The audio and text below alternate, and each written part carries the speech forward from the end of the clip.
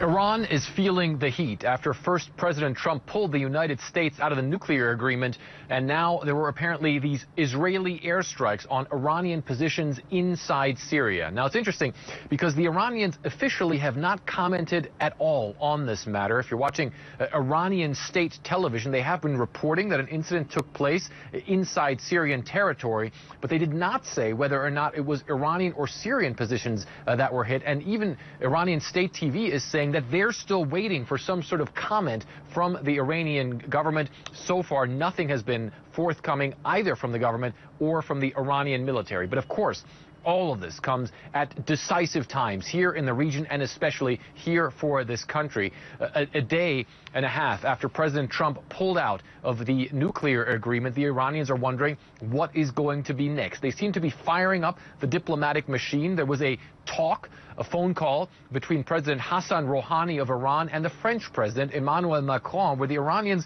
are proposing that maybe the nuclear agreement could survive as a smaller version minus the United States. But they do say there still is a big way to go before that can happen. Meanwhile, on the streets of Tehran, of course, people are very, very concerned about the situation. People that we've been speaking to are telling us they are especially worried about Iran's economy. There's already been a big devaluation of the currency and a massive rise in the prices of a lot of goods. So Iranians really feeling the pinch uh, after not just that incident took place inside Syrian territory, but of course, especially after the United States pulled out of the nuclear agreement.